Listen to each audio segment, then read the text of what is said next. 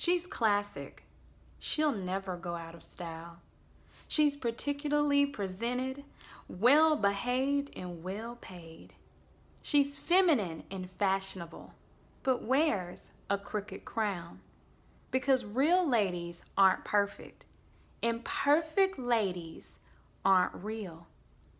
She works damn hard, owns her own, and owns up to who she is. She supersedes elegance.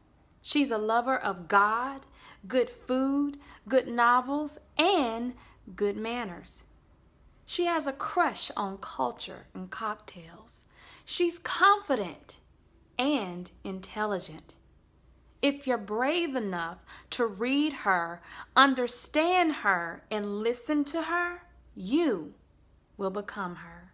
She is king. Ladies, this was just a moment of motivation for you all today.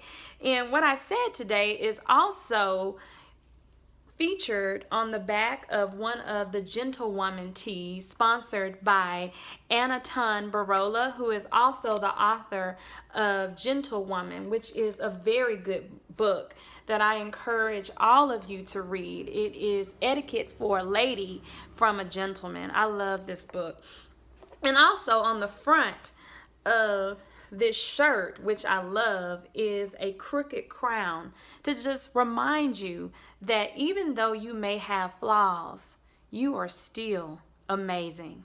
So for more moments like this, subscribe to my blog, Mikea's Monologue, Lessons, Life Lessons from a Single Gal. I look forward to speaking with you again. Have a great day.